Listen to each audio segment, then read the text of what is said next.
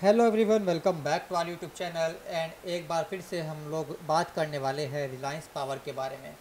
Reliance power काफ़ी अच्छा share बोलते हैं लोग बाकी बहुत सारे यूट्यूबर्स को बोलते हुए सुना है। तो देखेंगे क्या है इसके जो फंडामेंटल्स है, वो इतने स्ट्रॉन्ग है या फिर नहीं तो डिस्कशन करते हैं आज की इस वीडियो में। तो वीडियो को एंड तक ज़रूर देखना। अभी बात करते हैं शेयर का जो करंट मार्केट कैप है 473 करोड़ का देखने के लिए मिलता है। हालाँकि छोटे मोटे बिज़नेस का जो टर्नओवर होता है, वो इससे ज़्यादा देखने के लिए मिल जाता है।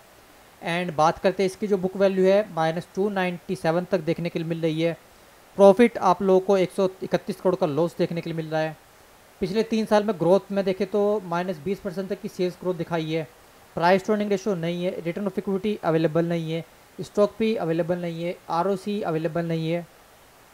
एंड कंपनी कोई डिविडेंट आप लोग को पे नहीं करती। पिछले तीन साल में जो प्रॉफिट है प्रॉफिट ग्रोथ है पच्चीस परसेंट तक प्रॉफिट ग्रोथ बढ़ता हुआ दिखाई दिया है। एंड बहुत सारे लोग इस चीज़ को ऐसा मानते हैं कि शेयर में प्रॉफिट हो रहा है। अब ऐसा नहीं है। अब इस यहाँ पे सीनारी क्या बन रहा है?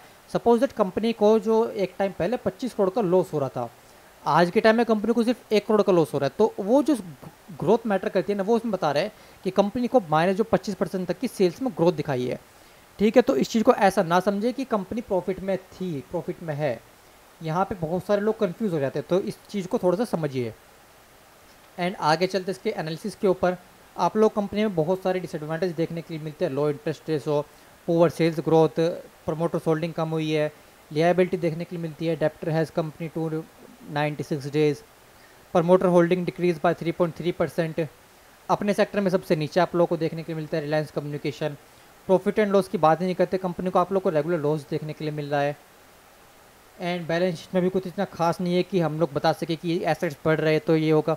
तो प्रमोटर होल्डिंग पे भी चलते जिसके बारे में बात हुई थी। प्रमोटर होल्डिंग 1.85 परसेंट तक की रह चुकी है। यानी कि जो रिलायंस है, जो प्रमोटर्स हैं, उनको खुद अपनी कंपनी पर भरोसा नहीं है।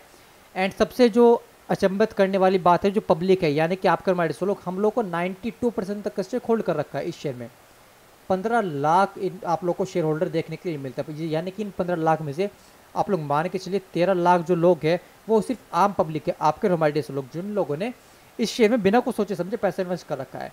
एंड उन सभी लोगों को मैं एक चीज़ बताना चाहता हूँ कि इस शेयर में ये आप लोग को दोबारा से बाउंस बैक करता हुआ नहीं दिखाई देगा। अगर ऐसी कुछ संभावना अभी होती तो प्रमोटर होल्डिंग कम ना होती। आज के टाइम में आप लोग को अच्छी खासी प्रमोटर्स होल्डिंग देखने की मिल होती।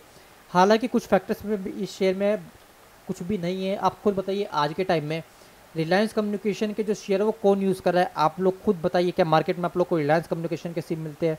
रिलायंस के सिम मिलते हैं या फिर नहीं? एंड ये मैं चीज़ क्लियर कर दूँ कि जो जियो के सिम है, वो एक कम्प्लीटली डिफरेंट कंपनी है एंड रिलायंस कम्युनिकेशन एक कम्प्लीटली डिफरेंट कंपनी है।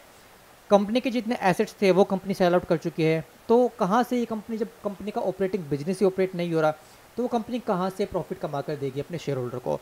तो थोड़ा सा रिलायंस कम्युनिकेशन को लेकर जो मिथ है कि आने वाले टाइम में प्रॉफिट करेगा, आने वाले टाइम में प्रॉफिट करेगा वो प्रॉफिट कैसे करेगा जब कंपनी खुद ही ग्रो नहीं कर पा रही कंपनी खुद ही बिज़नेस नहीं कर पा रही?